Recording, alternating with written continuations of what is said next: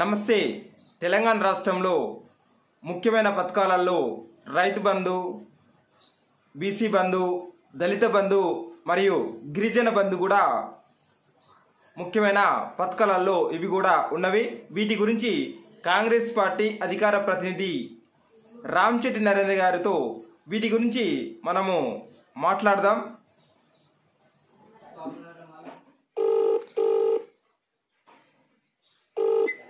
అన్న హలో. నమస్తే అన్న గారు. నమస్తే నమస్తే. తెలంగాణ రాష్ట్రంలో ప్రస్తుతము సాధారణ ఎన్నికలు నిర్వహించడం జరుగుతుంది నవంబర్ ముప్పై తారీఖున.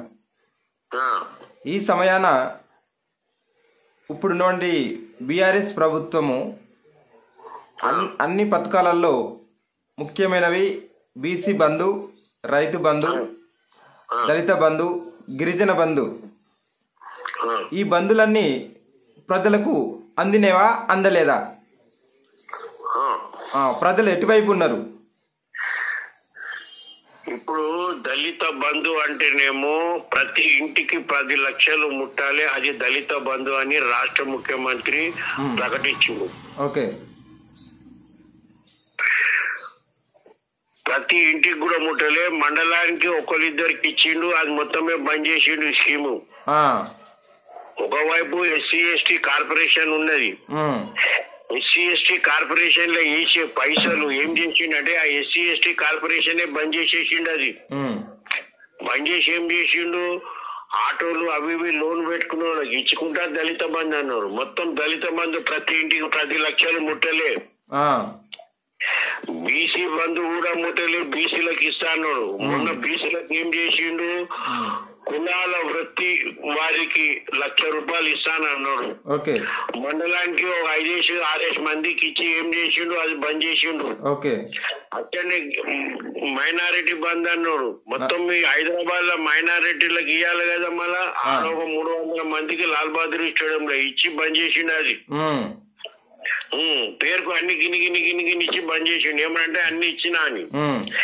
గిరిజనులకు బంధు ఇస్తా అన్నాడు గిరిజనులకు బంధు లేదు. వాళ్ళ ఈపులు వాళ్ళు కొట్టిండి ఈయన. పోడు భూములకు ఆ మహాతల్లి ఇందిరాగాంధీ పోడు భూములకు పట్టాలు ఇస్తే ఆ భూములై గుంజుకోనీకే ఆడోళ్ళు గర్భిణీ స్త్రీలను కూడా చూడకుండా తెచ్చి కొట్టుకుంటా మూడు మూడు రోజులు పోలీస్ స్టేషన్ అన్నం లేకుండా పెట్టిండాలని. అసెంబ్లీలో అందరూ ప్రతిపక్షాలు ఎగబడితే ఏమన్నాడు పోడు భూములను కూడా మళ్ళీ నేను పట్టాలు ఇస్తాను. ఆయన్నే ప్రకటించిండు. ఇవాళ రెండు సంవత్సరాలు అవుతున్నాయి పోడు భూముల పట్టాలు గతి లేవు. గిరిజనుల యూనివర్సిటీ కడతాడు గిరిజన యూనివర్సిటీ అని గిరిజనులకు యూనివర్సిటీ గతి లేదు. మొన్న మా పిసిసి గిరిజనులను అట్లా అన్నాడు ఇట్లా అన్నాడు లేని ఫోన్ ముట్టిస్తున్నాడు. ఈయన గిరిజనులు అసలు ఏ స్థాయికైనా ఈయనని ఈయనని సహించేది లేదన్నట్టు మాట్లాడుతున్నారు ఇప్పుడు గిరిజనులు. ఆ గిరిజనులు గిరిజనులకు దోక చేసిండు ఈయన. మళ్ళీ ఎవరికి ముట్టినాయి ఆయన దళిత బంధు పెట్టింది ఇవన్నీ బీసీ బంధు గిరిజన బంధు. ఊత్తగా ఇచ్చేసిండు. ఇవాళ ఊర్లల్లో ఈయన గెలిచే పరిస్థితిలో లేరు ఈయన క్యాండిడేట్లు. ఊర్లలో పోతే జనాలు మీరు చూస్తున్నాం అన్ని వీడియోలు వైరల్ అవుతున్నాయి ఊర్లలో పోతే ప్రచార బండ్లలో కొడుతున్నారు వాళ్ళ ఎమ్మెల్యేలు పోతే కొట కొట పోతున్నారు. విన్నావా? నిన్న నాగార్జున సాగర్ ఎమ్మెల్యే భగత్ని జనాలు లారీ మీద ఎక్కి బిందెలతో కొట్టిరు ఆడోళ్ళు జీవులు తీసుకుని వెళ్ళిపోయిండు. ఆ, వీడియో ఇవాళంతా వైరల్ అవుతున్నాయి నిన్నటి ఉమ్, విన్నావా? ఇప్పుడు రాష్ట్ర ముఖ్యమంత్రికి డౌట్ వచ్చేసింది. ఏమని? నేను బంగారు తెలంగాణ చేశాను అబద్ధాలు చెప్పుకుంటున్నాడు మన బంగారు తెలంగాణ చేసినోడు గజమిలికి కొట్లాడి గెలవచ్చు కదా. ఆడ దగ్గర దగ్గర ఒక యాభై వేల మంది భూమి బాధ్యతలు వెళ్తారు భూములు గుంజుకున్నోళ్ళు. ఉమ్, ఆడ ఓడిపోతాడు భూములకి ఏం చేసిండంటే కామారెడ్డికి వచ్చిండు. ఉమ్, కామారెడ్డికి వస్తే ఏమైంది? కామారెడ్డిలా నేను ఇంతవరకు నా రాజకీయ జీవిత చరిత్రలో ఏ ముఖ్యమంత్రి నామినేషన్ అయిపోతే జనాలు అడ్డంబడిలో చూడలే. రాష్ట్ర ముఖ్యమంత్రి నామినేషన్ వేయలేకపోతే రోడ్ మీద ఆడవాళ్ళంతా వండుకున్నారు. నువ్వు ఊరికి రావద్దని. అంటే నీకు ఎంత సిగ్గుచేట ఇవాళ నువ్వు రెండు జాగాలకే ఓడిపోయే పరిస్థితి ఏర్పడ్డది. ఉమ్, కామారెడ్డిలో చెప్తాడు నేను గజ్వెల్లిలో గెలవంగానే ఆడ రాజీనామా చేసి ఈయనే ఉంటా అంటాడు. గజ్వెల్లిలో చెప్తాడు నేను ఇక్కడ గెలవంగానే ఆడ రాజీనామా చేసి దీన్ని అభివృద్ధి చేస్తా అంటాడు. ఈయన పరిస్థితి ఇట్లున్నద్దు అయితే అన్ని అబద్ధాలు జనాలు సరైన టైం వచ్చింది ఇప్పుడు జవాబు ఇస్తారు తప్పకుండా అని చెప్తున్నాం. ఓకే. రెండు మూడు రోజుల క్రితము ఆ, సిరిసిల్ల నియోజకవర్గంలో కేటీఆర్ యొక్క ఆడియో అనేది రిలీజ్ కావడం జరిగింది. ఒక సామాన్య కార్త కార్యకర్తతో మాట్లాడిండు. డోర్ టు డోరు ప్రచారం చేయాలి. వచ్చే ఎలక్షన్ల తర్వాత గెలిచిన తర్వాత వారానికి రెండు మూడు రోజులు నేను సిరిసిల్లలోనే ఉంటా అందుబాటులో ఉంటా అని ఆడియో అనేది రిలీజ్ కావడం జరిగింది.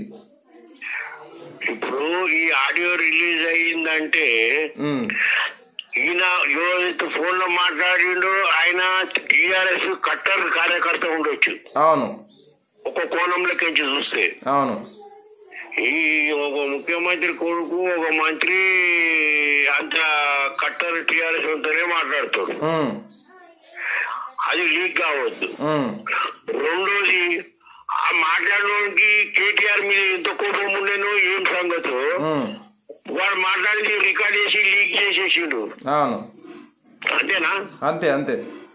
అయితే ఇంకొకటి ఏంటంటే ఇక ఇంకో కోణం గురించి ఆలోచిస్తే కేటీఆర్ ఓడిపోయేది అనేది కూడా అనుమానం వచ్చేసింది ఆయనకు. అవును ఓటయ్యారనే అనుమానం కూడా వచ్చింది.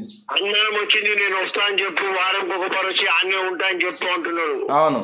బాస్ కాదు నేను ఇలా ధర్మంగా చెప్తున్నా వీళ్ళు మా కాంగ్రెస్ నుంచి ఇవాళ ఎంతమంది పోయిర్రు టీఆర్ఎస్లకు సామాన్యంగా అందరు నాతో ఇప్పటికీ ఫోన్లలో మాట్లాడతారు. మీతోటి? ఉమ్, నాకు నాతో చెప్పి ఏదన్నా "ఏ, మీరు కేటీఆర్ మీరు కండవ కప్పిండి పోయిర్రు మళ్ళీ మీ పరిస్థితి ఏందిరా ఎట్టున్నారు మరి మీకు పోతులు వస్తాయంటే అమ్మవారి దగ్గర యాట కోసే ముందు దానికి పసుపు కుంకుమ పూల పెట్టి దానికి ఒక పెగ్గు పెట్టి దానికి కోసేస్తారు. అవును. అట్లా అయిన దానికి వచ్చే ముందు ఒకల వాళ్ళకు తోడు ఆ భుజం మీద చెయ్యేస్తారు పడవ కడతారు అయితే ఇక తెల్లారి మళ్ళా వానికి నో అపాయింట్మెంట్ అయితే పోయిన వాళ్ళు చాలా మంది బాధ బాధపడుతున్నారు. ఒక నన్ను వచ్చినాము కాంగ్రెస్ ఏముండే అలా ఎవరు పడతారని నిలదీసి అడిగే అవకాశం ఉండే. ఇక్కడ అవకాశం కూడా కోల్పోయిందని బాధపడుతున్నారు. ఓకే. ఈయన పని అది అన్ని అబద్ధాలు మాట్లాడాలి.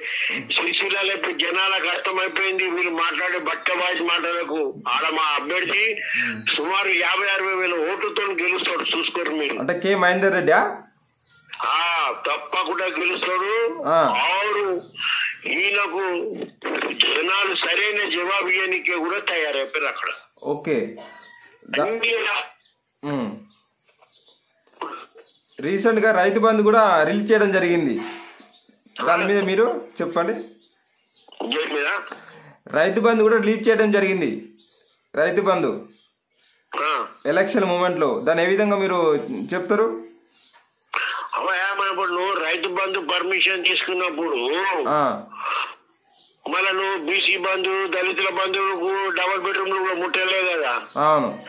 మళ్ళీ అవి కూడా జనాలకు ఓకే ఆ, మళ్ళీ అవి ఎందుకు ఇయ్యాలి మళ్ళీ అవి కూడా ఇయ్యాలి కదా మనం ఆ ఊర్లలో ఏమైంది తెలుసా చాలా మంది దళితులు ఒక మూడు వందల రెండు వందల ఇల్లు ఉన్నాయనుకో.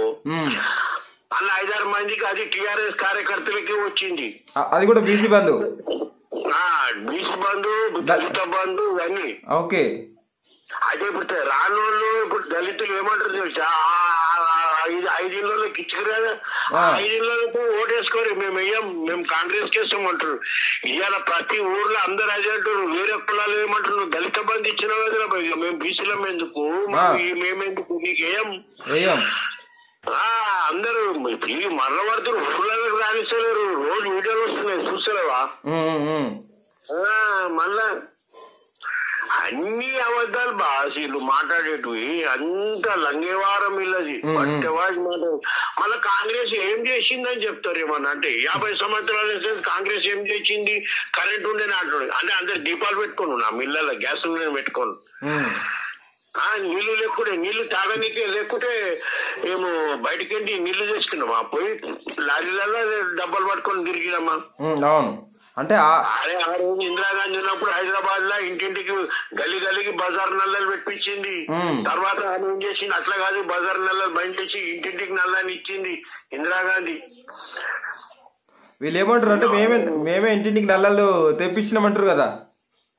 ఎడ వీళ్ళు? నల్లలు ఊర్లలోనా? అది కూడా చెప్పు, మీ ఇంటికి నల్ల రాకపోతే నీ- మీ మీ ఇంటికి వచ్చి ఓట్లు అడగానని చెప్పి అ- అన్నాడు కదా ఒకసారి కేసీఆర్. గుర్తున్నదా?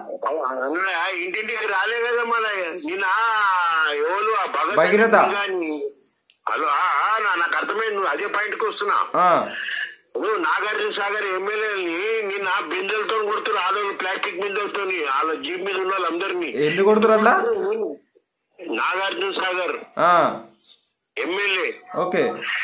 నిన్న ఊరికి ప్రచారంలో పోతే ఆడవాళ్ళు ప్లాస్టిక్ బిందెలు తీసుకొని అందరిని కొడుతుర్రు. ఓకే ఊరు పెట్టిన వాళ్ళని ప్లాస్టిక్ బిందెలతో మళ్ళీ ఎందుకు కొడుతారు నీళ్ళు వచ్చి వాళ్ళు ఎందుకు కొడతారు? అరే అన్ని అబద్ధాలు బాస్ కాంగ్రెస్ ఏం చేసింది అంటున్నావు ఊళ్ళలో నిలటానికి ఎవరు కట్టిరా వీళ్ళు అయ్యాలు కట్టిరా ఊర్లలో స్కూల్లో ఎవరు పెట్టిర్రు. ఆ, ఊర్లలో కరెంట్ ఎవరు తెచ్చిర్రు. ఉమ్, ఊర్లలో రోడ్ ఎవరు ఊళ్ళ ఊర్లలో పాల కేంద్రాలు ఎవరు పెట్టిర్రు. ఓకే. ఒక్కొక్క మండలానికి బస్ స్టాండ్ పెట్టి ప్రతి మండలానికి బస్సులన్నీ లింక్ తయారు చేసి పెట్టిర్రు. వీళ్ళు పెట్టిర్రా ఇలా అయ్యాలు పెట్టిర్రా. వాళ్ళ తాతలు పెట్టినట్టున్నారు. ప్రతి జిల్లాకు పెద్ద హాస్పిటల్ కట్టలే మేము? మండలానికి ముప్పై పడగల హాస్పిటల్ కడతాను ఏమైంది? నీ ముప్పై పడగల హాస్పిటల్ కేజీటీ పీజీ ఉచిత విద్య ఇస్తాను. ఏది? నువ్వు అబద్ధాలు మాట్లాడి అన్ని చెప్పి ఇంకా నువ్వు మమ్మల్ని అంటున్నావు. మేము ఎన్నోతో అన్ని మా గ్రామ పంచాయతీలలో డెవలప్మెంట్ నువ్వు వచ్చి ఒక వైకుంఠ గ్రామం అని అది సర్పంచ్కి ఇచ్చినావు. ఆ ఆర్కార్కి కట్టి బిల్లు డబల్కు డబల్ లేపిర్రు మళ్ళా నువ్వు చేసిందే నేను అది చెప్పు. నీళ్ళడానికి మేము కట్టలే ఊర్లో ఉమ్. స్కూల్ కదా, అన్ని మేము చేసే కదా. నువ్వు చేసింది ఏంటి మళ్ళా పశువుల డాక్టర్ ప్రతి మండలానికి ప్రతి గ్రామ పంచాయతీకి రాడి కదా ఆ లోన్ నువ్వు చేసినావా. ఇప్పటి వరకు కూడా సర్పంచ్లకు బిల్లు కూడా రాలేదంట. నిజమేనది బిల్లు రాలేదు ఇలా సర్పంచ్ లాని ఓడగొట్టి నీకే తయారు ఉన్నారు ఆ. చెప్తలేరు మూడు మాటలకు. ఓకే. మళ్ళా? చాలా మంది సర్పంచులు సర్పంచులు ఆత్మహత్య చేసుకొని చచ్చిపోయిన సంఘటనలు కూడా చిట్టి రాసి పెట్టి ఏమని? మా బిల్లులు ఆగిపోయినాయి నేను అప్పు చేసి గెలిచినా అప్పు చేసి ఇవన్నీ కట్టినా నాకు బిల్లులు ఇస్తలేరని మ్మ్. చచ్చిపోయారు ఆత్మహత్య చేసుకొని. ఓకే. ఆ మళ్ళా?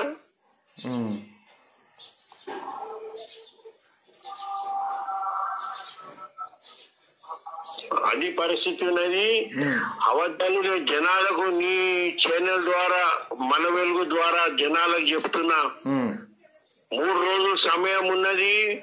ఇప్పుడు లేనిపోని మాటలు సృష్టించి అన్ని అబద్ధాలు చెప్తారు జనాలకు చెప్తున్నా. నమ్మొద్దు. ఆవిడ చేతి గుర్తు మీద ఓటు వేసి అందరు అభ్యర్థులని ఘన విజయంగా గెలిపియాలి. ఆవిడ వీళ్ళని సరైన గుణపాఠం చెప్పాలని తెలంగాణ ప్రజలకు కోరుతున్నా. థ్యాంక్ యూ అన్నగారు ఇది కాంగ్రెస్ ప్రతినిధి రామచెట్టి నరేంద్ర గారు దళిత బంధు బీసీ బంధు గిరిజన బంధు ఈ మూడు బంధులు తెలంగాణ రాష్ట్రంలో విపులమైనవి అదేవిధంగా ఎక్కడ చూసినా బీఆర్ఎస్ పార్టీ అభ్యర్థులకు నిరసన తెగలు ఎదురవుతూ ఉన్నాయి.